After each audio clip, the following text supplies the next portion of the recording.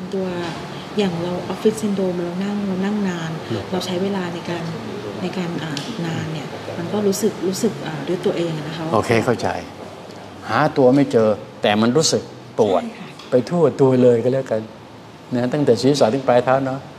จบดูมนจะหายทันที ไม่เกินห้านาทีครับ เดี๋ยวนี้มีไหมอาการปวดหัว มีอยู่ค่ะยังมีอยู่นิดนึงโอเคโอเคดูมนจะมองตัวนะครับเอาละหายใจยาวหายใจเองนะ ห้ามหยุดหายใจที่นี่นะค่ะเดี๋ยวงานเข้าค่ะ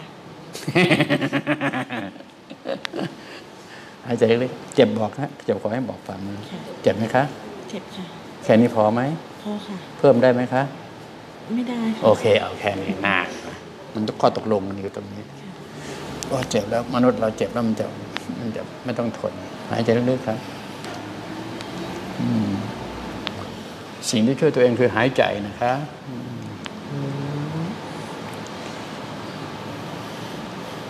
หายใจก็แล้วหยุดแล้วกันเอาไว้สักหน่อยหนึงหายใจเข้าปื๊ดแล้วหยุดก็แปลว่ากันไว้สักครู่เท่าที่จะกันได้นะ กันไว้ อย่าเพิ่งออก อย่าเพิ่งออกอย่าเพิ่งออกอย่าเพิ่งออก ทนไม่ไหวออกเลยนะคะ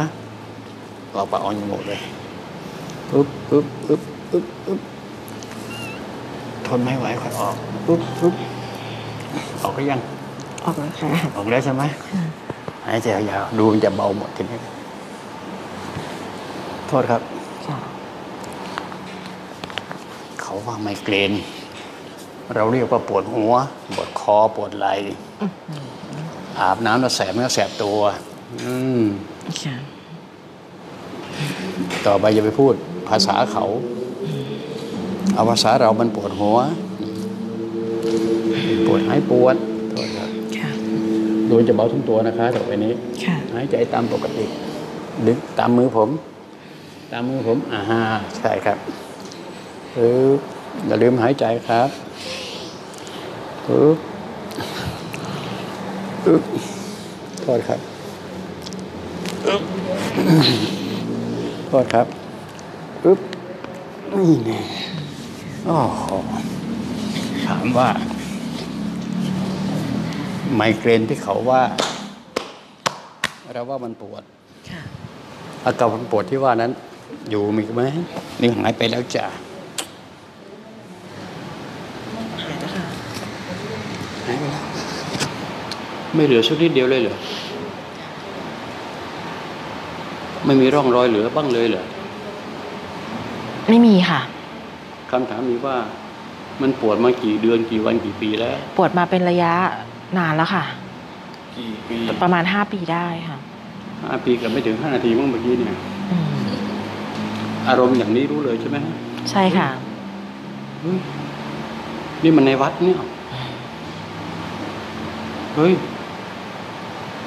งงไหมเนี่ย ก็ หนูเชื่ออาจารย์นะคะหนูเชื่อหนูมีความเชื่อว่าอาจารย์ สามารถทำให้หายได้เนาะงั้นรู้จักรู้มานานหรือยังครับเนี่ยรู้จักมานานยังยังค่ะ ไม่ไม่นานเท่าไหร่ค่ะเพิ่งมารู้เมื่อเช้านี้หรือเปล่าใช่ค่ะแล้วก็ก็ศึกษาใน Facebook เมื่อสักระยะหนึ่งที่นั่งอยู่นะคะก็ศึกษาศึกษาศึกษาเปิดดูอันนี้อันนู้นอะไรอย่างเงี้ยค่ะ ก็มีความเชื่อ เจอหน้ารู้ไหมใน Facebook เจอค่ะจริงเหรอโอ้ยเจอแล้วเหรอเจอเมื่อเช้านี่เหรอใช่ค่ะเฮ้ยใครบอก ก็ถามพี่ๆเขาอะค่ะว่าอาจารย์ชื่ออะไรอ๋อกดชื่อนั่นเอง ใช่ค่ะ กดว่างไงกดว่าอ่าอาจารย์งอก มันก็จะขึ้นเป็นชื่ออานายอ่าสมศักดิ์ขึ้นมาอะไรอย่างเงี้ยค่ะอืมเราก็ศึกษาอ๋อเฮ้ยชื่อลุงหงอกนี่มันโหลจังเลยเนี่ยเด็กเลี้ยงควายก็รู้แล้วตรงเนี้ยแบบเนี้ยค่ะเฮ้ยสงวนสิทธิ์นะทั้งนั้นน่ะค่ะเอาจริงนะ เรื่องมันแน่เนาะเพื่อนค่ะ นะกดลุงหงอกไปรู้หมดเลย ค่ะ เฮ้ย มันจะขนาดเรื่องอะไรลุงไงโอเค ค่ะ เห็นพูดเห็นจาในนั้นเนาะ ค่ะ เวลาฟังคำพูดแต่ละคำในส่วนนั้นมันมันสะดุดหูบ้างไหมครับ สะดุดหูบ้างไหมก็มีบ้างค่ะ อืม เช่น เช่น เช่นอย่างที่อาจารย์พูดมาเรื่องอ่าเมื่อเมื่อสักพักนี้ใช่ไหมคะ อืม เรื่องอ่าเกิดก่อนหรือว่ากรรมมาก่อนเนี้ยอืมซึ่งเราก็ก็ฟังค่ะ ความคิดตอนนั้นหนูก็คิดว่าอ่าถ้าเราไม่เกิดแล้วเราจะมามารับผลกรรมได้ยังไงแหมก็ยังคิดอยู่เหมือนกันตั้งแต่แรก แต่ว่า คือถ้าเราไม่มีกรรมเราก็ไม่เกิดอะอืมมันก็เลยสับสนกันเหมือนอุปทานอุปสงค์อะค่ะ ไม่ครับเท่ากันละอืมอย่างเรากินข้าวจานหนึ่งอ๋อยังไม่อิ่ม ขอเพิ่มกลายเป็นว่าอ่ามากไป มันก็เลย ใช่เลยใช่ดีมันค่ะสัพพลายใช่เลยครับใช่ค่ะใช่เลยอันเดียวกันเหลือสองด้านนี่เองครับใช่ค่ะ จะพูดด้านไหนล่ะอืมด้านไหนแต่ฟังผมผมพูดคำว่าเกิดก่อนอืมค่ะชัดเจนเนาะชัดเจนค่ะเข้าใจแล้วมันหลุดแล้วใช่ค่ะคือบอกแค่เข้าใจนั้นมันช่วยแป๊บเดียวอืมอีกไหมฮะร่างกายมีอะไรเพิ่มเติมไหมคะ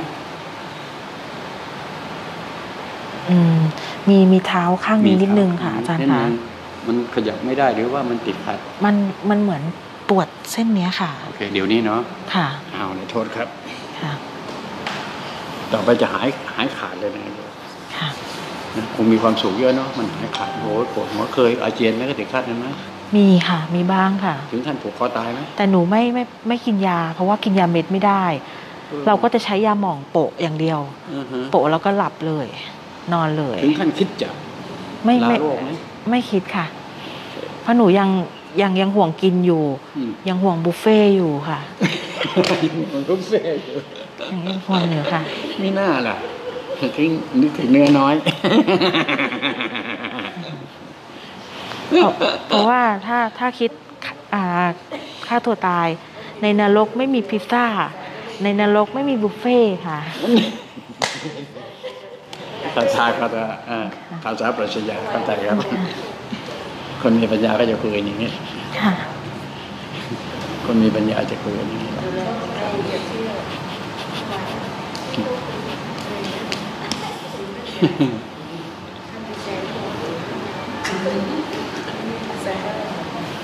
ก็ถามว่าอือหือเลยเหรอต้องถึงขั้นอือหือเลยเหรอ มือลุงทำด้วยอะไรเนาะเฮ้ยมือลุงอะมันทำด้วยอะไรมีอีกไหมครับ ไม่มีแล้วค่ะ เดินสิครับอืมเดินเช็คเลยฮะ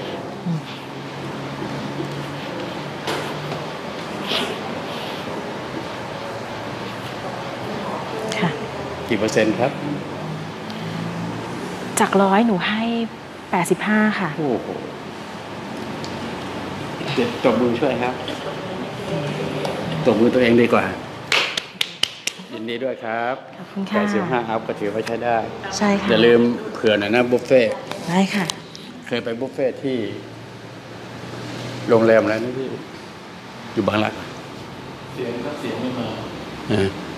โรงแรม อะไรที่เขาอยู่ บางรักฮะที่โรงแรมเดอะเอ่อชื่อเสียงโด่งดังมากสากลน่ะไม่ใช่ไม่ใช่ ไม่ใช่ไม่ใช่แถวแถวบางรักอะโรงแรมก็โรงแรมเก่าๆแก่ๆฮะไม่ใช่ฮะอีกอันนึง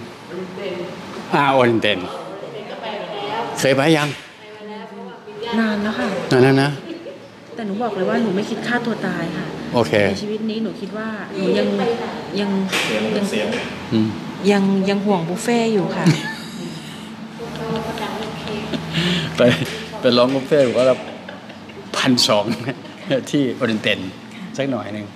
มันจะได้รู้ว่า เอ้ยมันเป็นยังไงวะรับรองว่าเกือบบินได้กันแล้วกัน โอเคครับขอบคุณค่ะโอเคด้วยกันยินดีฮะแปดสิบห้า ค่ะแปดสิบห้า